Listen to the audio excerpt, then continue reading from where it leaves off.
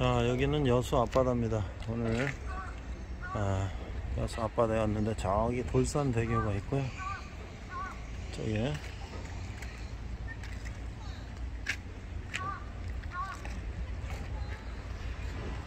화면 등대가 저기 보이네. 네. 야, 바닷가에 드디어 왔습니다.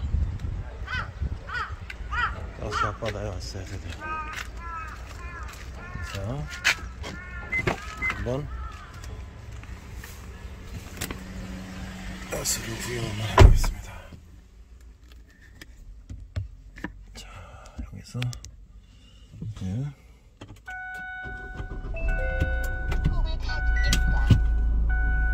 자 여수 앞바다 대한민국 남쪽 끝을 드디어 왔습니다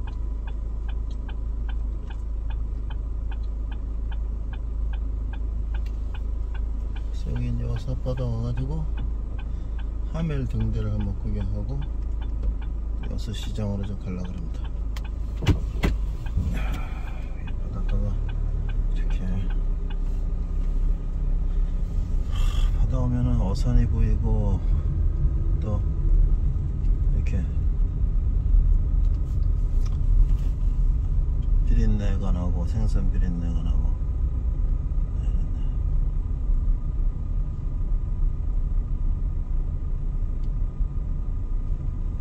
아 이게 이제 하멜 리링이 여수를 출항한 지 3일 만에 탈출에 성공해서 1880, 1666 9월에 일본 고토 지역에 표착했다.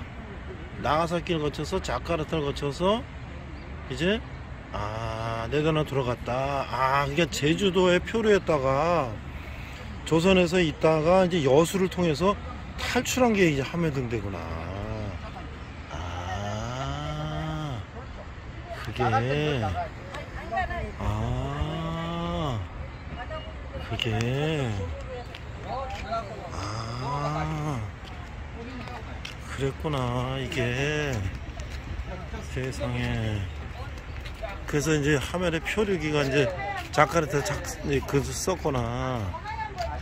아 이런 거구나.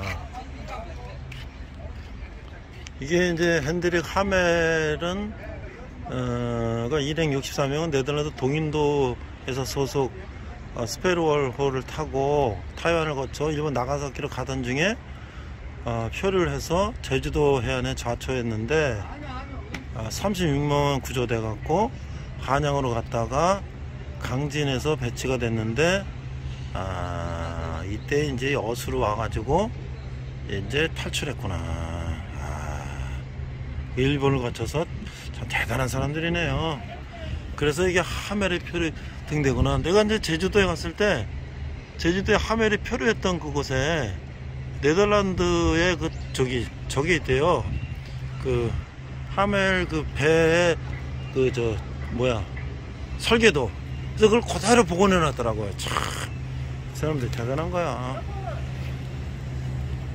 여기는 하멜 예, 전시관인데 아, 이렇게 하멜이 네덜란드에서 이제 일본을 가다가 풍랑을 만나고 제주도에 살고 아, 이제 한양으로 갔다가 강진에 살다가 이제 나중에 이제 아, 탈출하는 그런 얘기네요. 아, 이게 뭐 여수 엑스포 2012년 할 때 이걸 만들어 놨다 그러는데 하멜의 보고서도 있고 어, 참 대단하네. 음, 대단해.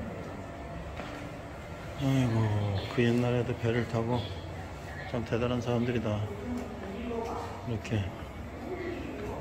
아유, 참 대단하다.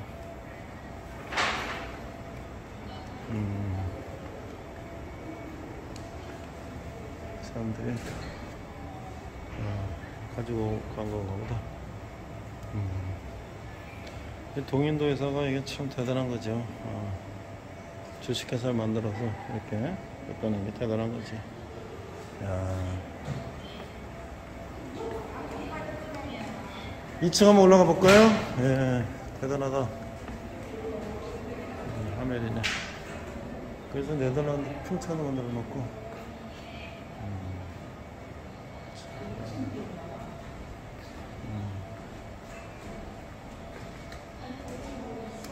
어디 보자. 이게 무슨 풍랑을 만나는 그림이네. 음.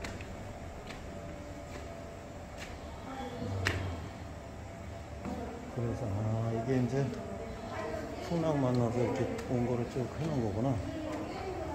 음. 풍랑을 만나고 이제 이렇게 저 여정을 이제 제주도에 왔다가 서울로 갔다가 다시 또 강진을 요구했다가 아이고 그래서 탈출했으니까 이 사람들이 이제 유럽에다 알린 거겠죠? 코리아를? 어, 이번에 여수 엑스포 맞고.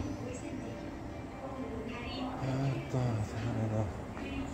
그래서 이제 여기 어, 이더빈이라는 이제 여기 어, 고을에 이제 수사 아, 이 사람이 도와줘서 이제 양도 기르고 뭐 해갖고 돈을 마련해서 어, 탈출했다.